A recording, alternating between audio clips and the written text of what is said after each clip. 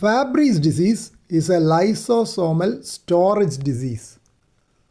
Cardiovascular manifestations could be left ventricular hypertrophy, myocardial fibrosis, heart failure, and arrhythmias. The genetic transmission has been called X linked rather than X linked recessive, which we are more familiar with disorders like hemophilia. GLA gene needed for the production of alpha galactosidase A is defective in Fabry's disease. GLA gene is located on X chromosome.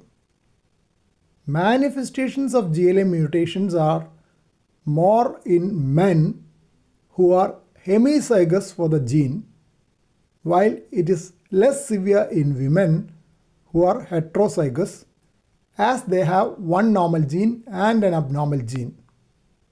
That is the reason for calling it as X-linked disease than a typical X-linked recessive disorder. The disease manifests later in those females. Reduced alpha galactosidase A activity leads to accumulation of globotriaosylceramide GB3 in lysosomes of affected tissues including the heart.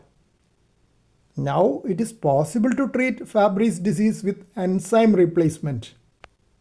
But early diagnosis and treatment are needed to slow progression of disease and prevent major cardiac complications.